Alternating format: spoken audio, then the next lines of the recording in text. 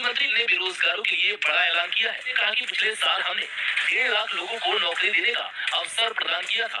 अगले दो सालों में सेनानिवृत्त से होने वाली वैकेंसी और अन्य स्थानों के लिए कुल मिलाकर नौकरी का अवसर रेलवे देने जा रहा है। दो साल में एक लाख लोग और रिटायर होने वाले हैं। लिहाजा पुरानी ग्रुप सी और ग्रुप डी की वैकेंसी और इस बार जो वैकेंसी रेलवे निकालने वाला है उन्होंने कहा कि रेलवे में दो लाख तीस हज़ार और वैकेंसी निकाली जाएँगी नए पदों पर।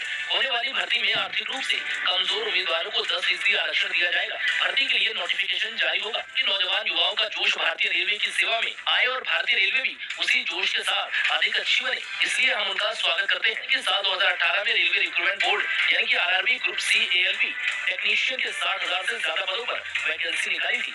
आपको बता दें की ग्रुप सी और ग्रुप